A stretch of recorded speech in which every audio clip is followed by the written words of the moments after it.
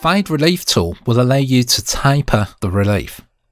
It is again located in the top toolbar and if selected will instantly open a linear fade which is a straight angle. You will also see two white dots which are the points that the fade runs from and to. You can move these by dragging them and it will adjust the fade in real time.